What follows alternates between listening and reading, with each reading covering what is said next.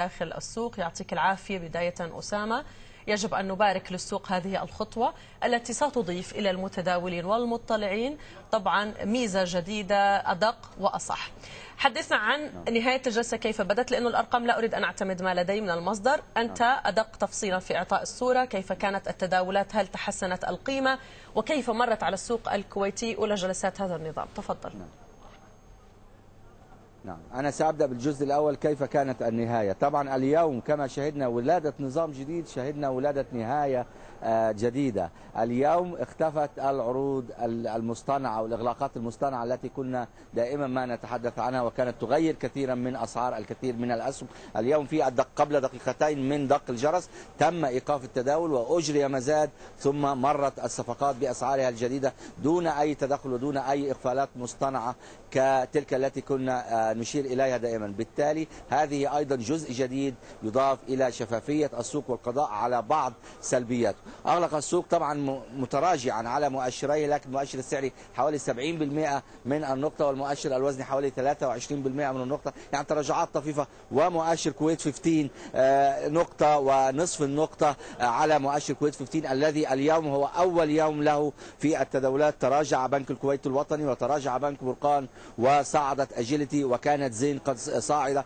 وكان بيت التمويل الكويتي ظل صاعدا. لكن كما أشرنا القيم كانت قليلة والتداولات أيضا وكميات الأسهم المتداولة كانت قليلة. الوطن وحده فقط هو الوحيد الذي تجاوز المليون سهم. الصفقات كانت 2079 صفقة و71 مليون سهم. طبعا نحن كنا في الأيام الماضية رولا نتحدث عن ال 600 مليون وال 700 نقترب من المليار أحيانا. اليوم 70 مليون أعتقد أنه رقم شديد التدني. والسيولة أيضا متدنية 8 ملايين و400 ألف. طبعا هذا يعود إلى أسباب مختلفة سأناقشها مع ضيفي بعد قليل. لكن المهم في تداولات اليوم أنها أن المولود ولد وخرج إلى النور تعثر وارتبك وكانت هناك خلل وربما ارتباكات. هناك غابت عنا المعلومات نظرا لاحتجاب الموقع السوق على على الإنترنت. لكن في النهاية تم الاستعاضة بموقع بديل وعادة واستطعنا أن نقرأ بعض التداولات. يعني هناك البعض يرى أن اليوم الأول كان ناجحا أن أن النظام ولد وطبق وصار بشكل متباطئ والبعض آخر قال أخذ أو سجل بعض المآخذ على التداولات. رأينا في تداولات اليوم شيئا من الارتباك حتى في شريط الصفقات. كانت الصفقات تمر أحيانا ضعيفة للغاية ثم تنشط فجأة ثم تتباطأ إلى يعني مستوى يقترب من الوقوف. وأعتقد أن ذلك مرد البعض قال أن بعض الوسطاء لم يكونوا قادرين. كانت هناك أوامر شراء تتغير إلى أوامر بيع عند إدخالها إلى الأمر. البعض اشتكى من أن كمية الأسهم المعروضة لا تتأثر حتى لو تم الشراء منها. يعني المعروض كله يضاف لدينا مليون سهم معروض وجاء شخص واشترى ربع مليون يظل المليون على حاله دون تغيير. هذه من الشكاوى التي استمعنا إليها من المتداولين ومن الوسطاء في السوق. المهم أن التداولات كانت تمت بسلام وأعتقد أن غدا وبعد غد وبعد غد قد نرى هذه المشاكل لكنها أعتقد ستتناقص بالتدريج. ويسرني أن أستضيف مرة ثانية كما استضفناه في الافتتاح نستضيفه عند الإغلاق السيد أحمد الدويسان المدير العام لشركة الرباعية للوساطة. وأريد أن أسأله السؤال الأول كيف وجدت تداولات اليوم أحمد؟ صورة بدون أي رتوش؟ حقيقة يمكن كانت اليوم الانطلاقة هي انطلاقة جيدة ولكن أنا أعتقد أن هناك كانت بعض المشاكل التي واجهت شركات الوساطة هناك شركة وساطة عانت من الانقطاع في خطوط الإنترنت ولم كنت ولم تكن تعمل في الثلث الأول من تداول ولكن تم إصلاح هذا الأمر. كان هناك بعض من الاختلافات بفروقات الأسعار وخاصة بالنسبة للكميات وإلى آخره من هذه الأمور. أعتقد أن موقع سوق الكويت الأوراق المالية الرسمي البديل وهو الجديد لم يكن كذلك يعمل في أول ثلثين من الساعة وتم التحول إلى النظام الكارز القديم ويتم العمل فيه انخفاض القيمة النقدية. اليوم إلى 8 مليون دينار كويتي هو أمر متوقع حقيقة للأسباب التي ذكرت. هناك في خوف من قبل المتداولين هناك في يعني ربكة من قبل بعض الوسطاء. أنا أعتقد أن حتى بالنسبة للمصدر الرئيسي لتغذية المتداولين بالنسبة لعملية التداول وحتى بالنسبة لأسعار الأسهم هي لم تكن متواجدة وأقصد بها ذلك موقع سوق الكويت أوراق المالية لخارج لخارج مبنى البورصة. فكل هذه الأمور أنا أعتقد هي ساهمت حقيقة في انخفاض القيمة النقدية. ولكن نحن ونحن نتحدث عن الإيجابية الجميلة في هذا الموضوع بأننا انطلقنا في هذا النظام ولكن نحن لازلنا نرفع بتقارير إلى آه، سوق الكويت الاوراق المالية لحصر آه، يعني كافة المشاكل لتلافيها في تداول يوم الغد إن شاء الله. اليوم انتهى حفل الافتتاح وانفض السامر وأعتقد غدا سنرى تداولات وسيكون الوضع اهدى على الأقل سيكون التركيز الإعلامي آه، قد هدأ بشكل كبير نعم. هل تتوقع تحسنا أم استمرارا أم مزيد من.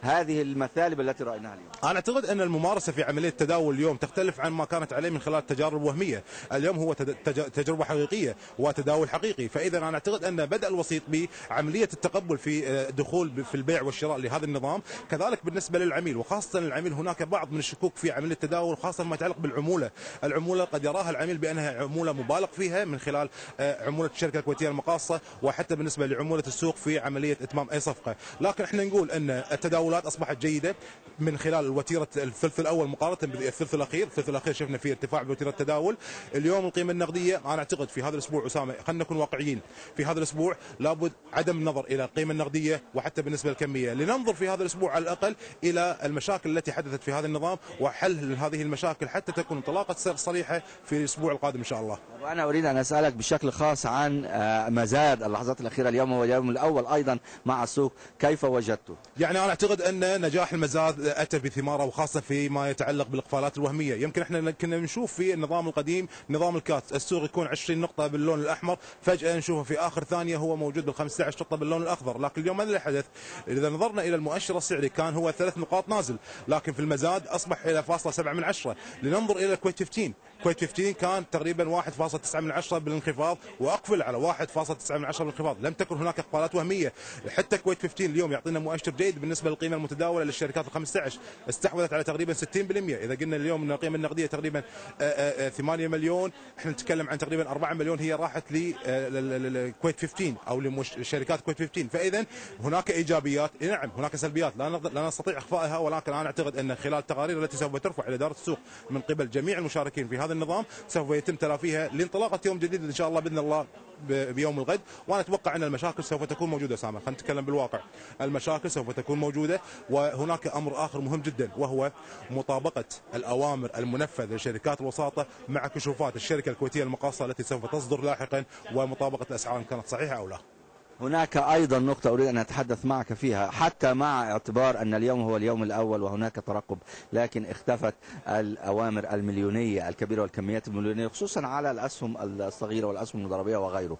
هل نستطيع أن ندرج ذلك أنه من حسنات ال- ال- النظام الجديد أم أن ذلك سابق لا أوان؟ أنا أعتقد أن من الصعوبة ومن الظلم أن, أن نبدأ بتقييم آه، تجربة تجربة النظام الجديد في يوم واحد، أنا أعتقد أن هناك كان الكثير من آه، آه، روح الموجودة لدى المتعاملين بعدم الدخول في السوق الكويتي خلال هذين اليومين وحتى من ثالث يوم، يريدون النظر إلى ماهيه التداول وسلوك التداول وأسلوب التداول ونهج حتى هذا النظام في عملية تقبل الأوامر في البيع والشراء، أنا أعتقد هو الامتناع امتناع نفسي وامتناع هو لن يطول أمده، أنا أتوقع منذ الأسبوع القادم أنا أتوقع راح يكون في تداولات، يمكن في أمور جيدة صارت في هذا النظام بأن هناك رقابة آنية لعملية الترنوفر المصطنع، وهذه نوعا ما قد تقضي على التداولات الوهمية التي ترفع المؤشرات لمستويات قياسية غير حقيقية سرعان ما تكون هي في انخفاض دائم بالسوق الكويتي ويؤثر على السوق الكويتي، إن شاء الله إحنا نقول إن بداية الأسبوع القادم إن شاء الله بإذن الله تعالى سوف نشاهد قيم أعلى وحتى كميات أعلى. نقطة آه، أخرى رأيت بعض الأسهم ب- تصعد باللون الأخضر مثل سهم نابسكو تحديدا وهو تم التداول على سهم واحد. أنا أريد أن أسألك هنا حول هذه النقطة أيجب سهم واحد أن يؤثر على المؤشر مؤشر قطاع بالكامل؟ آه، طبعا نبسكو يمكن هو له تأثير على المؤشر السعري لأن يكون له تأثير على مؤشر الكويت 15 ولا انه يكون له مؤشر على الكويت الوزني.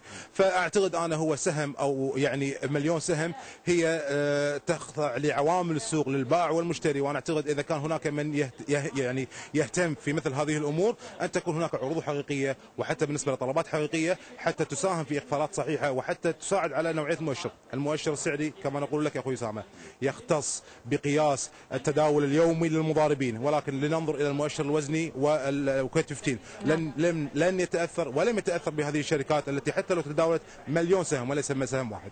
هذه نقطة وهناك نقطة أخيرة. شكوى سمعتها من بعض المتداولين أنهم أرادوا إعادة تصميم شاشات السوق بحيث أن تكون الشركات المدرجة تحت كل قطاع متتالية وليست كما هي في النظام السابق متفرقة حقيقة تفاجأنا لأن كان في النظام السابق بأن يكون كل قطاع تحتيه مثلا مؤشر يقيس هذا القطاع وحتى بالقيم المتداولة وحتى بالنسبة لكميات المداولة. لكن اليوم شفنا أن آه، آه، ال- ال- ال- الأسهم كلها والشركات كلها آه، مع بعض بدون أن تكون هناك بعض الفواصل التي تفصل قطاع عن قطاع وأنا أعتقد أن هذه من الملاحظات التي سوف نتقدم بها إلى سوق الكويت الأوراق المالية لحلها لتداول يوم الغد.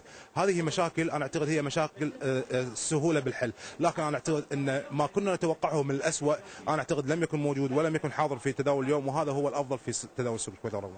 شكرا لك سيد أحمد أنت المدير العام للشركة الرباعية للأسهم. الله أسامة ونحييكم إن شاء الله. آه، كما استمعت رولا اليوم كان هناك يعني آه، كثير من المشاكل الفنية البسيطة وليست مشاكل معقدة أو شيء. هناك مطالب وهناك أيضا بعض الخلل الذي حدث في أوامر البيع والشراء وغيره. لكن أعتقد أننا ربما في الغد.